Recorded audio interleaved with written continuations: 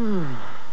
Est-ce que c'est moi qui rêve ou bien il me semble qu'il fait un petit peu chaud tout à coup? T'es jamais content. Il fait toujours trop chaud ou trop froid. Ben, c'est pas de ma faute si j'aime mon confort. Non, mais veux-tu même dire pourquoi il change pas ça, ces vieux thermostats-là? Ah.